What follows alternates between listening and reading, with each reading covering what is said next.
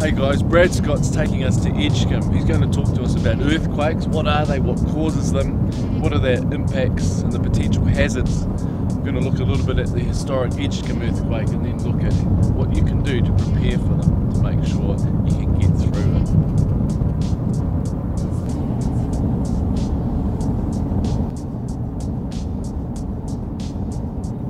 We've just come into the outskirts of Edgecumbe around some farmland with Brad Scott from GNS Science. And look behind us you can see Putauaki Mount Edgecumbe this must be quite a geologically active area.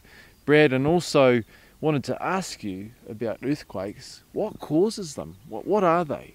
Okay. An earthquake in its simplest form is a rock that's breaking. So when the rocks break that generates an earthquake. It's when the rocks snap and here we are, we're in the volcanic zone, we've got volcanoes around us, but it's also an area where there's a whole pile of ground movement. The ground is stretching apart, the rocks have been pulled apart, and every so often they break and they go up or go down as a consequence of that. So this is just an area where the rocks are moving, lots and lots of movement are happening, and we end up having lots of earthquakes. And that's um, that's got uh, it's related to the, the tectonic plates as well. That's right. It, it's, it's a, this is a byproduct of the plate boundary. That New Zealand's on a plate boundary, and there's a whole pile of movement happening across that boundary. And we've got a real mix here. We've got the volcanoes as part of the plate boundary, and we've got the ground deformation or the movement of the ground occurring as well. And when the ground moves, it ultimately breaks, and we end up with the earthquakes.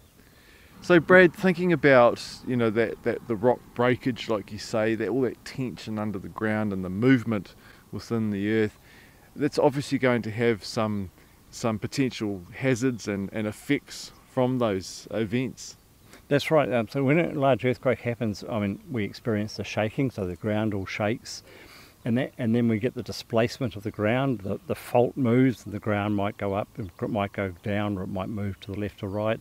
Um, if there's hills around, we'll get landslides coming off the hills. If there's rivers around, the course of the river or the depth of the river may change, and we'll get flooding. Um, so yeah, there's a whole pile of hazards and sort of impacts that happen when a, a large earthquake happens. Yeah, oh, well, that's great, Brad. It's, it's, good to know a little bit more about the science of these natural hazards, and because uh, you know that's obviously going to help you, you know, prepare for the potential impacts that might affect you in one of these events.